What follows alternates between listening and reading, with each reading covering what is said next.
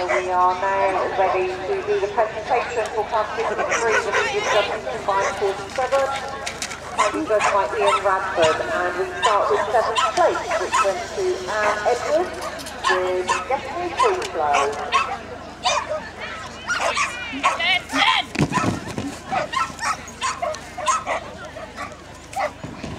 In fifth place, Harold Vicker and Hannah Mar Charisma.